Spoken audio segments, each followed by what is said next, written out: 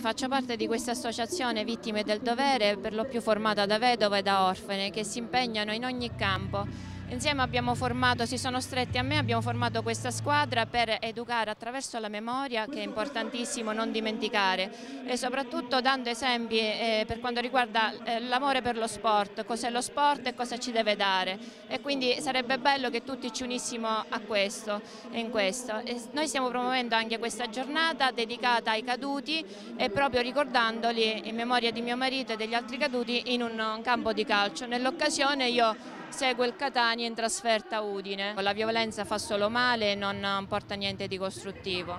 Purtroppo il dolore a noi ci ha insegnato di non fermarci, di andare avanti e non arrenderci mai. Oggi siamo qui per questo.